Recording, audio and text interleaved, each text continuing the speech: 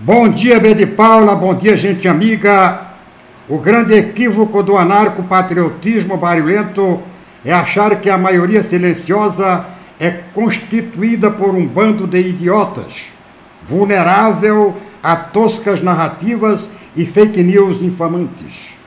Mais que patética a convocação de Bolsonaro aos seus acólitos para repetir o 8 de janeiro na Avenida Paulista.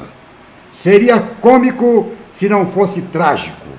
É trágico porque, por trás desta cortina de fumaça, se quer esconder os incontestáveis chefões das seguidas tentativas de golpes contra as instituições durante e depois do governo passado.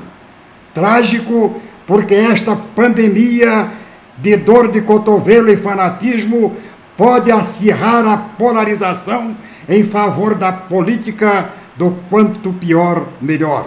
Patético porque a convocatória vem uniformizada exatamente pelas palavras de ordem daqueles que conseguiram abortar a investida terrorista de 8 de janeiro, quais sejam defesa do Estado democrático de direito.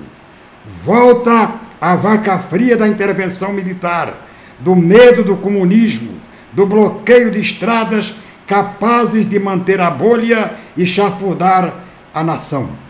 Para completar a dose de desinformação e coerência, falta apenas mudar a data do Convescote para 31 de março. Falei e tá falado.